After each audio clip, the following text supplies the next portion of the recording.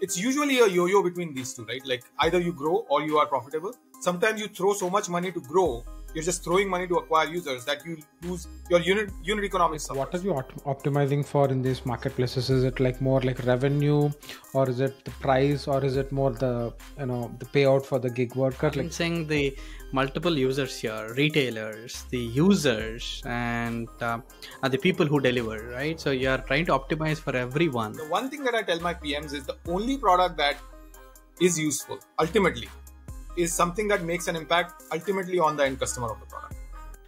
Hey everyone, uh, welcome to our podcast, Everything Product. In this podcast, we talk about product management concepts and latest technology insights.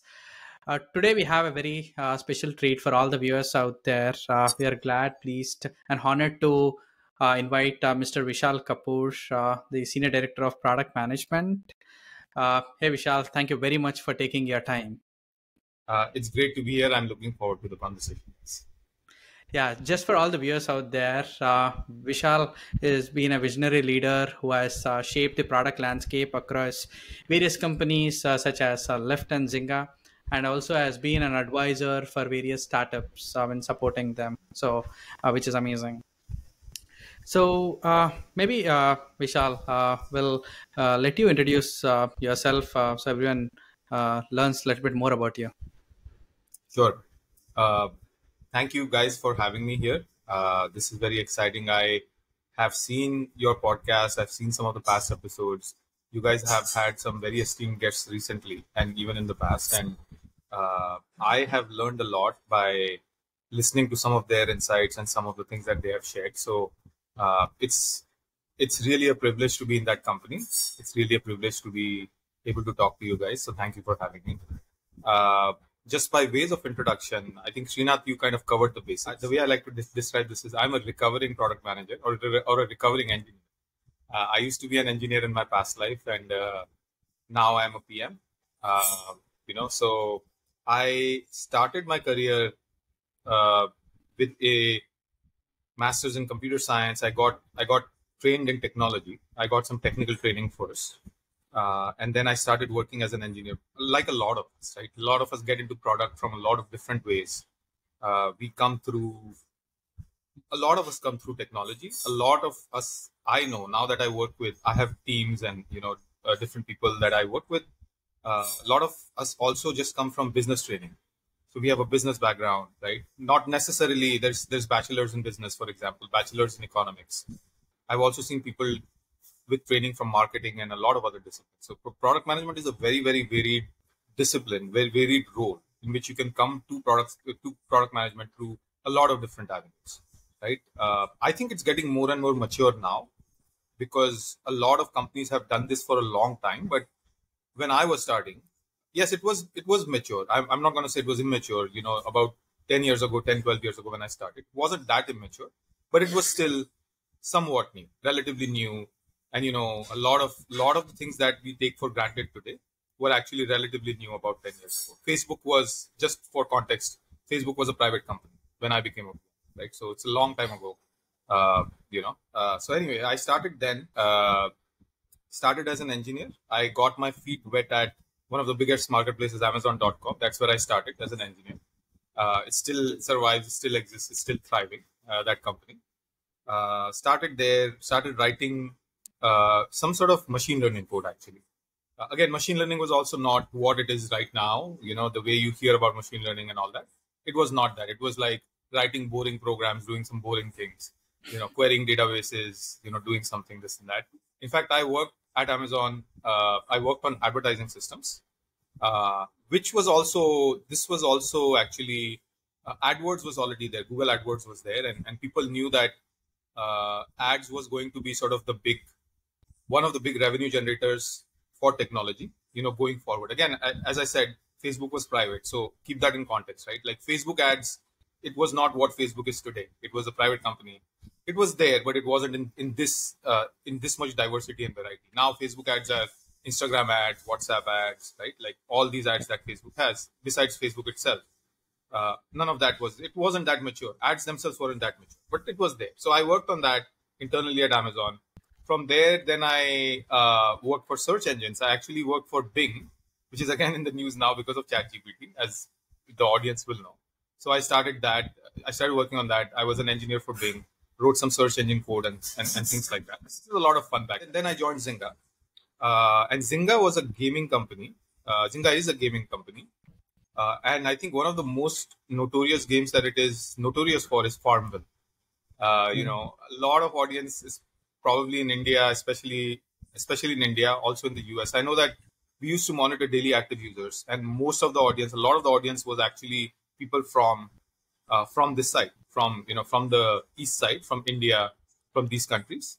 Uh, people used to love playing sim games like Farmville, for example, sim- simulation games like Farmville, right? Uh, so did that. From there, they have another game which I, which was very personal to me, uh, and I think that is a little bit of a philosophy of how I like to build product and what I like to do. So the game that I chose to uh, start my PM career, or the, the product that I chose to start my PM career, was actually they have a game called Words with Friends. And Words with Friends is essentially Scrabble. So you're playing Scrabble with other people on a mobile phone. So, like, let's say, Srinath, if you and I, for example, had uh, both of us were playing Words with Friends, you would have an app, Words with Friends app downloaded on your phone. I would have it and then it's just turn-based Scrabble, which we are playing over over the internet, right? So it's just like that. So then uh, I started there. I am I am not. I I keep telling myself, and we can talk about this later. But I keep telling myself that I am not a gamer. So Words with Friends was probably the best game. I'm a reader. My my vice is reading. It's not gaming. So I like reading every day. Uh, so for me, uh, Words with Friends was probably the best game that I could actually connect with. I had empathy for the product, you know, as as best as I could, uh, as best as I could relate to the product that I was contributing. Right. For example, now if you ask me what kind of products, or if for the audience, right, one of the questions is how would you jump into PM? What what what would you do? I would say the first thing that you should optimize for is whether it feels like work or whether it feels like like a natural extension of what you want to do. So if it feels like something that you want to do uh, it, it's your natural drive. The problem is very meaningful to you for whatever reason. It's meaningful to you personally. Then i think it becomes a lot easier to think creatively to have the drive to contribute to that area to push the boundary etc if it feels like work where you're going and working with a team of people fine you may do great work. But that, at the end of the day like uh, is, is the problem are you intrinsically motivated by the problem you want to make a difference? Or are you just doing it because you have a paycheck you have a job you, you have good people that you're working it's a big. I was at Zynga for seven years, so it was a while. I learned a lot. I think the one thing that I learned in games is that games have no rules, right? It's just like whatever you can think of. You can make a character virtual. You can do whatever you want, like you know, essentially virtual currency, connections, messaging, this, that, whatever you want. It's like telling a story essentially, right? So it's very creative.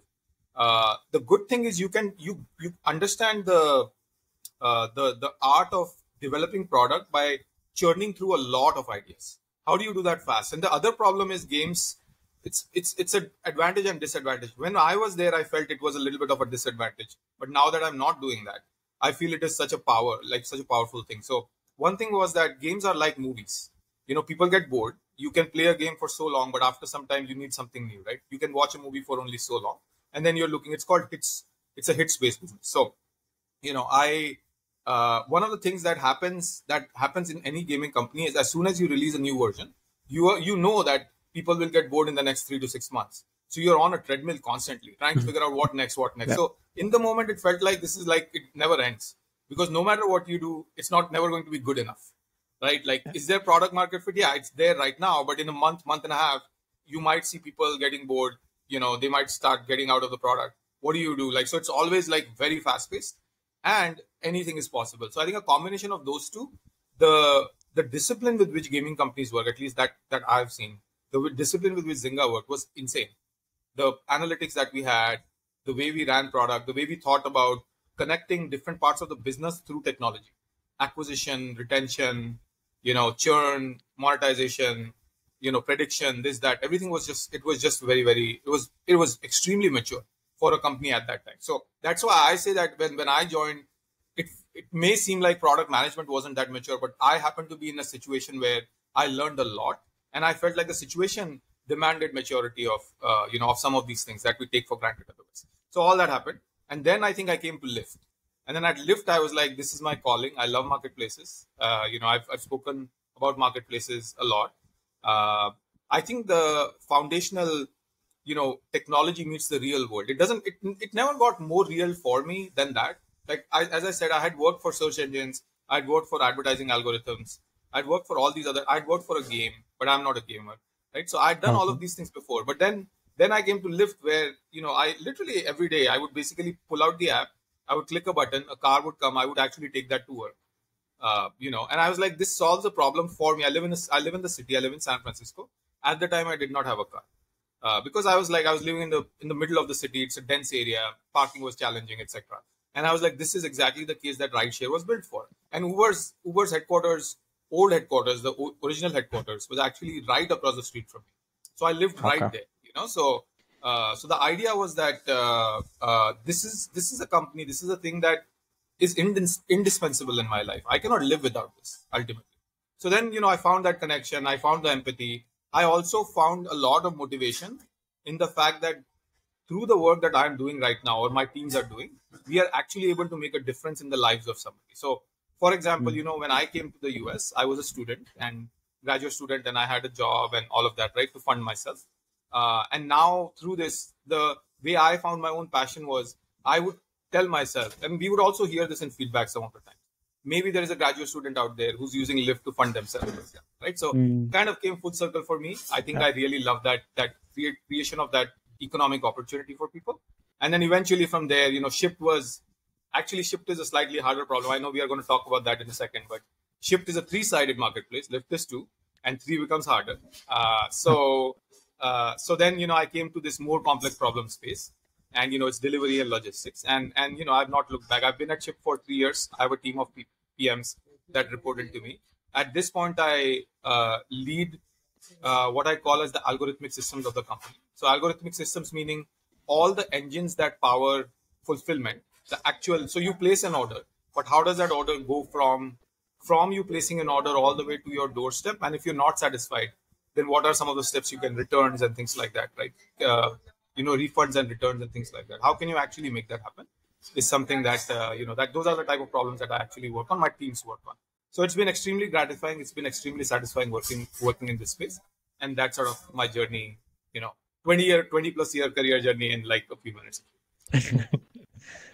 no, I awesome, love that. Awesome. Uh, I love the way you started it, Vishal. Honestly, uh, every product every product manager is different and that's the that's the beauty of the role i think right? You could have an engineering background you could have a marketing background you could have any other background too but still you can come add value and then build products that can solve customer problem. Yeah. Absolutely that. absolutely. Yeah. Especially the farmville i know stuck with me right? Like when i was when we were in undergrad right? It was like a phenomena. Like i remember my roommate asking me to go log into his account to harvest stuff because it'll go away after a while. yeah, I know, I know. It was it was the the company was built on very sound principles. Uh, it was addictive. You know, games games. A lot of products today, you know, Facebook, Instagram, any you know your dating apps, for example, right? The idea is that they exist because they can sustain a network of people. Mm. If you cannot sustain a network, if you cannot sustain a network of players for a game because it's not interesting or addictive enough, there will be no game because you, you need that network in order to keep the game going. And so, you know, the addictiveness, it's, I, I and I mean that in a positive way, right? I, I don't mean addiction as a, you know, addiction as a, hmm. as a negative word, but you need that in order to sustain, in order to create, you need the scale in order to maintain scale in this example, right? So Facebook needs, imagine, you know, if, if Facebook's users, a lot of users left Facebook. Facebook would be very uninteresting. The whole point is it's user generated content and the network actually, you know, makes that happen. So yeah, so it's, it's, it's like that. There's network effects. Obviously, there's network effects. People have talked about it a lot. Uh, but I, we experienced that firsthand when we started. You know, I experienced that when I started working on some of these things. So. Yep. So yeah. I might have asked asked you to water my farm as well at that time. yeah, that's one of the popular games that I remember as well. Yeah, that's amazing, uh, Jenny. Vishal, I'm sure a lot of people resonate. I mean, as you said, a lot of people, including us, we started from an engineering background. Now we're all product managers, and we can Right. closely relate to some of the things that you mentioned. And the transition, it's tough, not impossible. So you just need to create that path on how to. And I think some of the things that you brought up, the empathy, what you want to do, and all that stuff, and a lot of this problem solving capability, which is uh, pretty important. So, Right. yeah. And I know you kind of touched a bit on the Shipt, uh, your role in the team. Um, maybe for all the viewers out there, uh, um, there's a concept of three-way marketplace, right? Which is quite different from a two-way marketplace like a Lyft or a Uber. And uh, can you maybe help clarify what that means and how that is different from other traditional Yeah. marketplaces? Yeah, I'll give you, I'll try and give you and the viewers as concrete an example as possible. Hopefully, this is not, I know it's this is not too technical, but hopefully, you know, they will be able to understand why this is notoriously hard. Okay.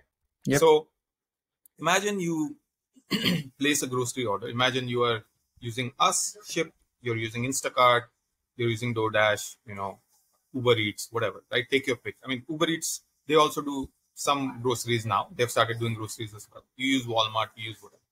Now, a lot of grocery orders that people like us put into the system, uh, you would have a lot of the times you would actually have some sort of perishable item, like milk, eggs, ice cream, right?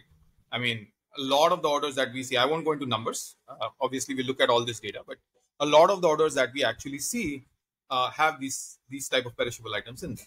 Fine, right? Obvious so far. Uh, now the thing is that when you place an order, us as consumers, when we place an order, we would like to be available to take the order so that we can put those things away into the fridge. Because if we don't, then the order goes bad. Those perishable items go bad. Also very obvious. So now what happens is, as a result of this very very fundamental uh, nature of, of how grocery delivery works, specifically grocery delivery. Other deliveries are slightly different, and and we are actually able to take a lot of advantage in other spaces versus groceries. But I'll explain why. I'm trying to explain what in my mind is one of the most complex problems, right? So grocery delivery, for example, it seems like that. So because of that, what happens is that when we as consumers place an order, we want the order to be delivered at a certain point in time when we are available to actually pick up the order. So to simplify that Mm. statement, if you are working in the day and you are out to office, now people are returning to office, for example. If you are working, you might want to place the order for delivery when the delivery happens once you reach back. Let's say 6 p.m., 7 p.m., some point at that time. Simple enough, right? You're placing the order in the day, in the morning. When you come back home, you want the deliveries. You you may want the deliveries uh, either to, to, to physically collect the delivery or you may want them to leave the delivery at that time within that time you know that if the delivery happens two hours later by the time you reach there your milk is going to go bad like things like that so you have to manage this tight window for everything that you're doing right through through technology Mm. essentially so that's also fine right now the challenge is coming back to what i said when you are placing an order you are potentially placing it while you are at work in the morning. The delivery is actually happening let's say let's take an example right? You're placing an order at noon. It's your lunch break. You're placing an order around 12 because you have a few minutes. You want the delivery to happen let's say you reach home by 6 let's say you want for for being on the safe side you want so you don't want the goods to go bad. You want the delivery to happen between 7 and 8 and then between 7 and 8 or, or let's say you want it to happen between 6 and 7 and and you know that when the delivery comes at that time you may use some of the groceries to cook dinner that night Mm. also very strict. This, all of this is is exactly how the world works, and all of this is how we see the use cases and things like that. So I'm just giving you, you know, one of the examples, right? So this is sort of how it works. So let's say that happens. So now the, here's the challenge for a company like us. So for rideshare, if you wanted a ride at 6 to 7 p.m., taking that as an example, that's that's two sided. There's supply side, there's demand side. Supply side is your drivers. Demand side is us customers asking for a ride. If you wanted a ride at 6 p.m guess what you would do? You would actually go online around 545 550 something like that. That marketplace is truly an on demand on demand but also near real time marketplace meaning the balance of the matching of supply and demand happens within minutes right? Mm. so when at that time at the time when you get an influx of rides you actually know uh, you actually know like how many rides there are because these customers all these consumers already want that ride. And either you have the supply or you don't have the supply. You have the number amount of drivers or you don't have them. And let's say that you know i'm, I'm making i'll make up a exaggerated example. You got a million requests for some reason suddenly. There was an earthquake something some you know some event happened. There were a million ride requests and you only have a thousand drivers right now. You can only you can only give rides to a thousand people. The other people will not be able to get rides i mean you can even do shared rides and stuff like that but it only gets you so far right? Like ultimately the other people won't be able. In our case that problem becomes extremely amplified. So in our case what happens in a delivery case you when the delivery happens at 6 to 7 the shopping of that order will happen probably right before that right? So it will happen Mm. around 5 o'clock.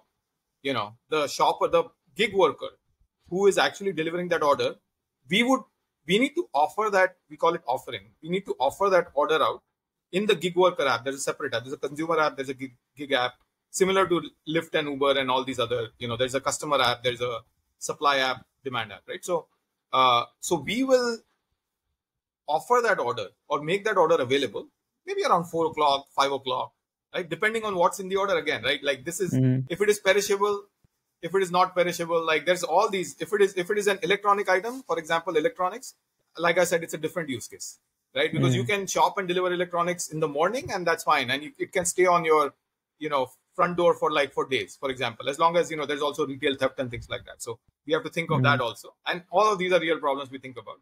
But i mean when for groceries you would typically give the order a couple of hours ahead. The shopper would actually go right? They or the gig worker would actually pick whoever picks it up they'd go they'd pick up the order and they'd go and deliver between 6 to 7 in our example. So far so good. Now the challenge is when you are placing the order at noon and the order needs to go at 5 we have to basically be able to uh, as with as much confidence as possible our job is as, as because we are the marketplace who kind of manages deliveries our job is to make sure when you get the order between 6 to 7 p.m you get everything that you that you requested for and not like part of it right? So you know you requested 10 items you requested milk you re- requested eggs and so on.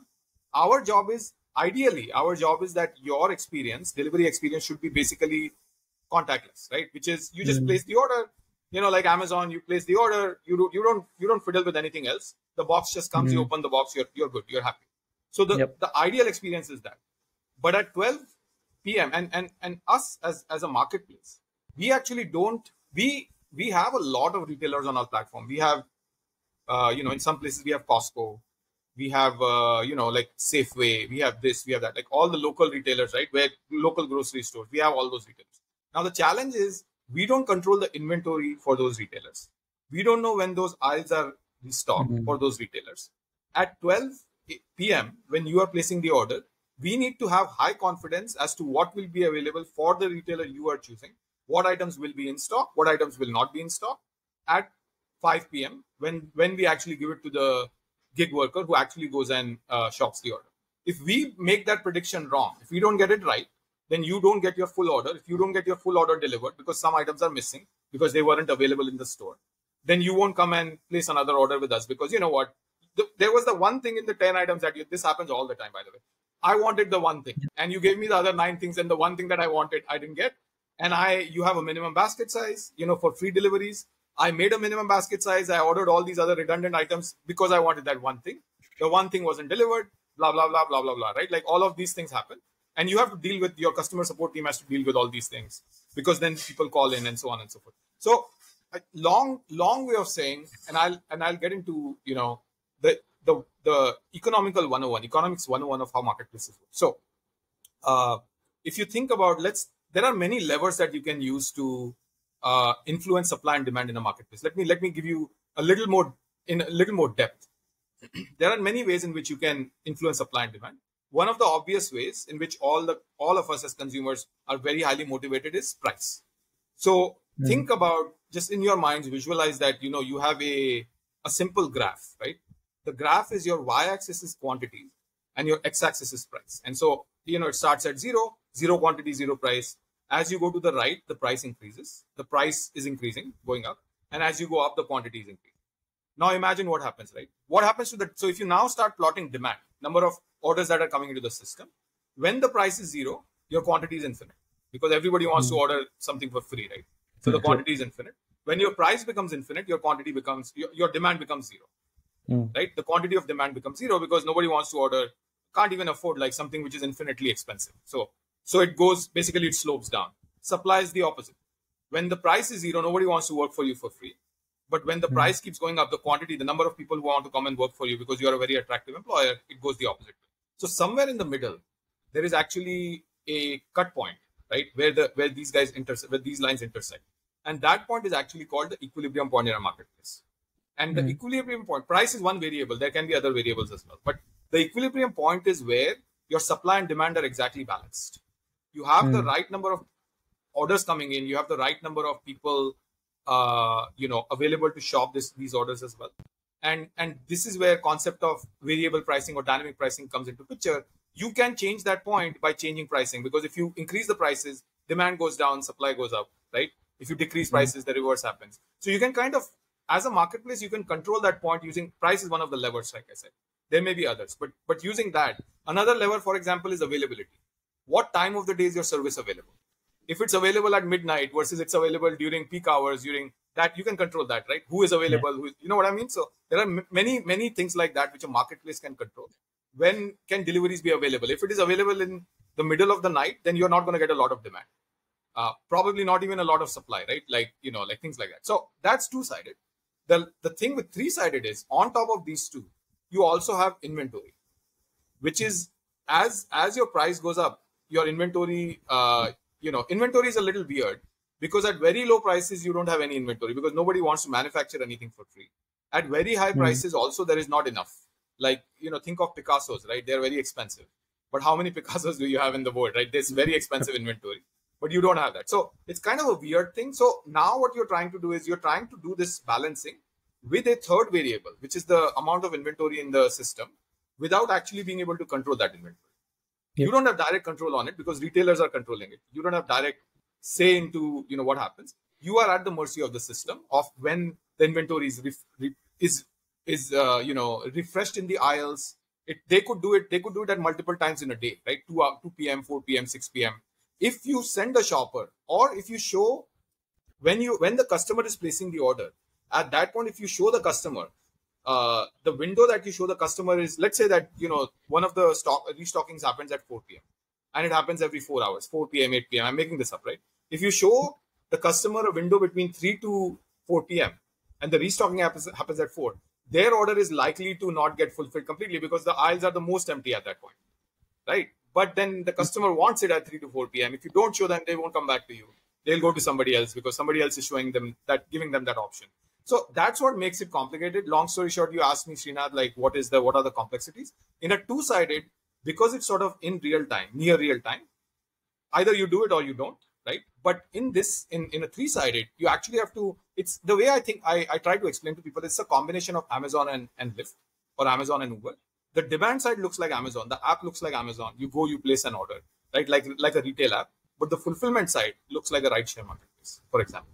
Uh, you know, to use those two big uh, examples. So that that amalgamation, that combination of these two different sides makes it extremely challenging to solve problems reliably and so on. So I I hope that you know that wasn't too technical for the audience. No, no. So you're basically saying there's like supply demand, you know, which you have to manage, and there's also inventory which you have to manage, and the inventory changes by the, uh, you know, the retailer which maintains it, and it's seasonal, and there's like a lot of these variables, and it gets more and more complex, right? Yeah. Correct. I So- I actually faced the exact same problem that you mentioned as well, Vishal. So I ordered from Instacart. I, I think ordered from one of the Indian grocery stores. I told, Yeah. hey, I want uh, six brinjals, the small ones. I mean, you, you usually look at the image and say, hey, this is the small one that you want to get. And that person got like six big, big brinjals. I'm like, dude, what do I do with this now? Yeah. Yeah. Yeah. Yeah, yeah. Yeah. It's a pretty complex, uh, I mean, use case, right? Balancing the multiple users here, retailers, the users, and uh, uh, the people who deliver, right? So you are trying to optimize for everyone. So that's uh, pretty complex, right? And some of the stuff are not in your control, like you mentioned, the inventory, which is all retailers. Yeah, I was And- just and I would only assume if there were other marketplaces, right, where you know you have more sides to it. Like one of the other sides, which is fairly common, is it's a little bit. It's a little bit not really real time, but you know CPG or advertisers, right? That's like the fourth side. Then some people call that as a four-sided marketplace because your advertisers are a fourth persona who may not be a retailer, who may be something else, right? For example, so besides your so the three sides in our case the three sides are i should have said this before in our case the three sides are your customer is one side the store is the second side obviously the third is the gig workers but then the fourth side uh, you know the fourth side could be like an advertiser who's coming in advertisers are a little bit they're a little bit removed but uh, but these three sides are the ones where a transaction has to hit these three sides an advertiser is sort of you know in the middle of the transaction as well. So it becomes more and more and more complex because advertisers might also have limited inventory limited budget. Now you Yep. may want to manage that. I mean it may be virtual inventory. I mean we think of ads as infinitely ads are infinitely available but the budget is limited. How many ads do you show? So you know doing all of this it becomes more and more nuanced and complex when you have more and more players So when you're optimizing, uh, like what are you opt- optimizing for in these marketplaces? Is it like more like revenue, or is it the price, or is it more the you know the payout for the gig worker? Like yeah yeah it's a great question right it's actually all of the above if you think about Oh, it right okay. right because if you think about it what is the motivator for it's like everybody and that is the that is the i think the beauty of running a free market marketplace company or just a free market company every player in in a free market participates because there is something for them to gain right? Uh, why would they come to a marketplace if they don't have something that they want? So you know we, we talked about this you know in the the economics 101 that we discussed. Uh, why would a gig worker come to a marketplace? Because they want to really make as much money as possible obviously. And why shouldn't they right? It's an economic opportunity. Why would a customer come to a marketplace marketplace x versus y? Because they get bottom dollar they are they are get, getting as cheap as a price as possible. They do what does a business want out of all of this? Business wants to run a sustainable business so that we can grow demand right? Like it, it's like you know if we charge too much money or too much we have too too too high margins and we don't have a strong grip like if the mark if the space is very commoditized meaning there are many competitors for example right? It's it's not for whatever reason right? It's it, you know historically etc there are many competitors then you don't have pricing power if you had if you are a little bit more if you had more uh, and I want to use this word carefully, if you had a little bit more influence or market share, meaning like if you had a little bit more monopoly, right? You know, on one part of the, it, it could be any part of the marketplace, by the way. If you are the one who covers all retailers and nobody else does, then you win. If you cover all the gig workers because for whatever reason they are only coming and working for you, then you win because other marketplaces cannot, you know, sustain that demand. If you are getting all the demand and nobody else is shopping anywhere else, then also you win, right? So like there are various ways of winning, uh, but ultimately uh, everybody who's participating is ultimately looking for what they can gain out of the marketplace. So Yeah. it's always it is that is the that is the beauty and challenge of that's the that's the balancing act that we have to run is that how do we create a sustainable business where we have to obviously uh, you know extract something out of every transaction we have a margin you, that's what you know we call as or, or commonly you, you hear as unit economics. What is our unit economics? We have a margin. We need to extract some value so we can run a company because there are people you know software systems people uh, that need that we need to actually run run this company and make this service available. But then you know our gig workers want to come and work for us because they are getting paid better or they are getting more payouts more than you know our competitors. If we were not paying them anything why would they bother coming and working for us? They would just go and do something else you know they value their time. So it's like it's a combination of all those things. Yeah marketplaces Yeah. are complex.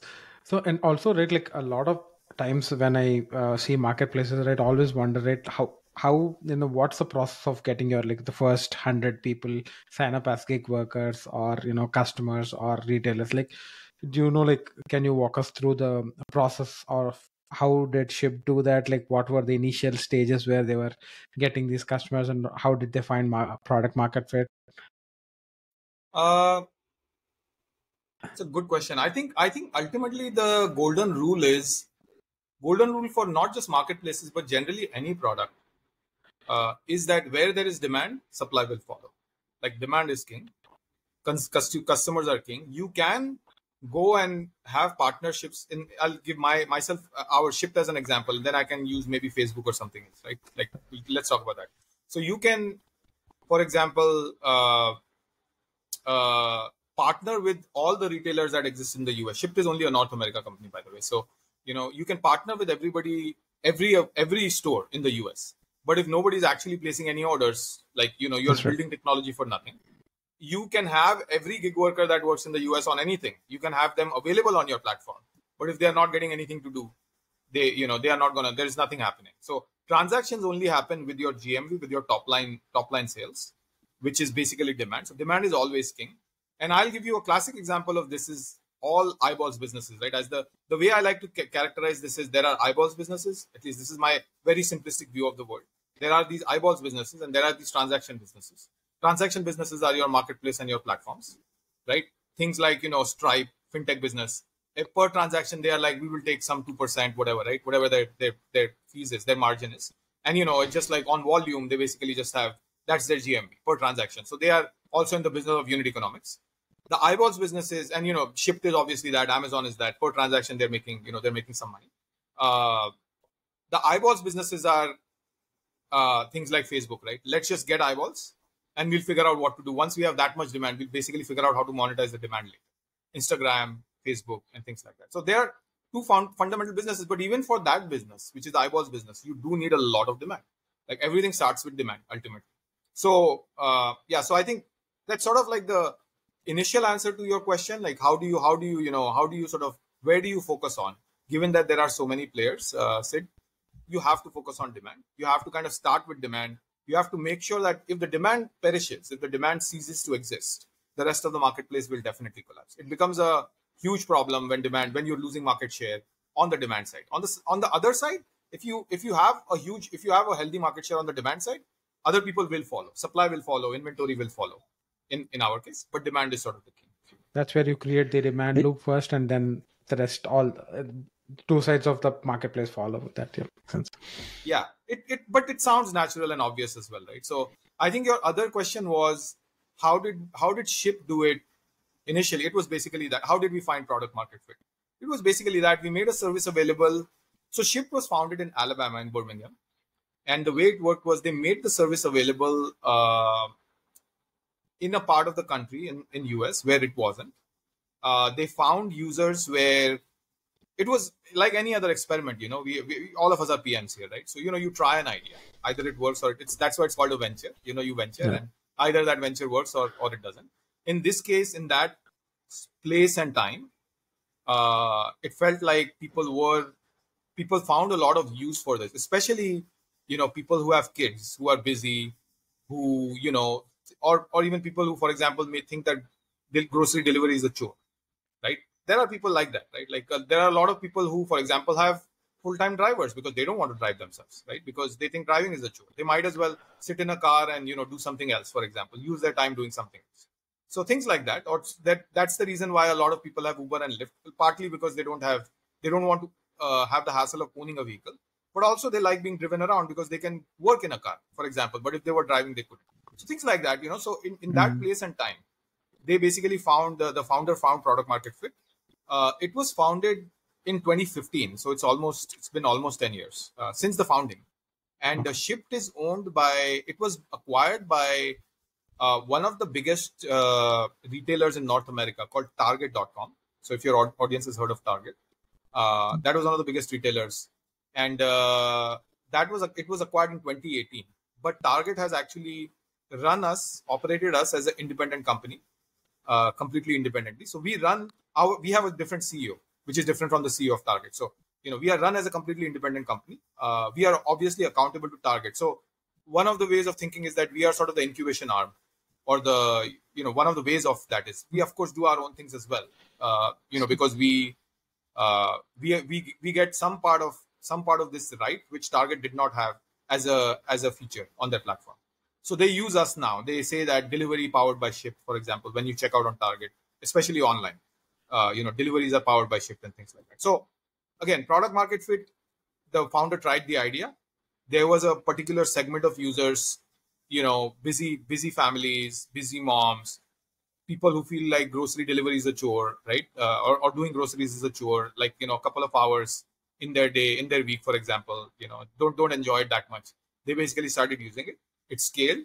There were more and more people like that. It scaled. Uh, it felt like you know there was product market fit there and then it kind of grew from there i have a question on top of that so as product managers right one of the biggest things that we do is prioritization and in order for us to do that we define the core metrics that we want to drive for that specific quarter. Um, two-way marketplace itself is tough. Three-way marketplace is like exceptionally harder. So how do you go about defining that, and how do you work with your product managers in defining it? Yeah, I think we are. I think what you are. I think this is sort of in the area of how do you set goals and what are your OKRs. If we were to make it very concrete, right? Like, what do you prioritize? What are the metrics that are most important? What are the metrics which are not? What you should focus on? What you should. Um, there's there's no one size fits all answer to this, even at a single company. I, I, I will say that there is always there are always two uh, there are always two metrics which are sort of critical to a company's existence. They are existential to a company. One of them is at some point or they at some point they become existential. One of them is the first one we talked about is number of customers and number of transactions that are happening on your platform. If that doesn't happen nothing happens. So that so it may be that you know uh, it may be that you know you had a transaction goal as a as a company. You had some transaction goal or or even for facebook for example you know eyeballs business there was a number of users and they hit a new milestone billion users 2 billion users whatever. Uh, and they feel like okay we hit that like last last year uh, you know in the last quarter. We feel like in the next two three quarters we don't have to be that aggressive about growth anymore. That's this is the growth pm area right? So we don't have to be that aggressive about growth anymore. Uh, we can actually like focus on some other things right? So first is uh, one of the most critical ones is growth. That's why you see growth pms as a specialty uh, as a specialized skill you know uh, as a specialized role in, in in product management as well. The second obvious one is as a company and this is sort of uh, this is something that the customers don't don't really care about this. They want this number to be zero. But when you are a company that is accountable to investors which every company is the investors will hold you accountable or the wall street will hold you accountable for this which is profitability right? You cannot run a business without it being sustainable without you know getting something out of the platform. So customers hope that you know you make no profit you give them a mm-hmm. service for free which is you know the economics 101 we talked about. But as an investor or even as a business just to be able to provide that service you have to have you have to have some profit so you can run a mm-hmm. sustainable business. So those two i think are sort of your implied goals. At some point it might be that you feel like at the scale that we are at we expected certain profitability we hit that profitability. We don't have to go after all the we don't have to prioritize all the monetization projects in the next you know six months to one year for example. It's fine. It's usually a yo-yo between these two right? Like either you grow or you are profitable. Sometimes you throw so much money to grow you're just throwing money to acquire users that you lose your unit unit economics suffers because you are throwing money to acquire users and the users you, now you're growing the users but the users are potentially not converting into transactions you know because use acquiring users advertising and all of that also takes money and, and it takes time but they're not converting. So you know that that part like growing users growing paid users growing actual users paid users growing the number of orders that they're growing the usage of the users uh, you know per week usage per month usage like all these are sort of growth goals. Uh, and then once you do that which is again the eyeballs thing right? You you you do that. At some point you're like okay now this is too expensive. We have we are burning investor money or we are burning some of the cash reserves we have. Now we need to figure out how to actually monetize it uh, so then you know monetization becomes a goal. Then you feel like no i think you feel like no we have achieved you work with your finance teams and you know your operations partners and things like that in companies that have operations. And you're like no we feel like our unit economics is healthy now. We are making profit per order right per transaction. Now with that new baseline let's start growing again. Let's get more users. So it's usually those two metrics are sort of super critical the third one that is uh, that is the one that sort of I guess gets the most kicked around, and that is sort of, and this is one thing that I I would say that was a learning for me. Uh, you know, as as I as I matured into the into my role, and as I as I started working on more and more more and more complex problems, those two are a little more easy to quantify, right? Like you know, growing number of users, growing number of transactions, growing this that. We're talking about OKRs here, right? So you know that's very easy to quantify. How many users purchased last year, uh, last last week? Last month, last quarter, how many users are purchasing this week, this month, this quarter? That's easy. Are how many times did the users purchase? That is a usage question. What is the usage? And how many Mm. times are they doing? That's these are like very easily measurable, right?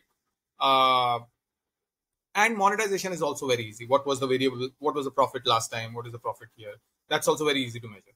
The one that actually is the most elusive, which I think is the third one, is basically product quality or product market fit.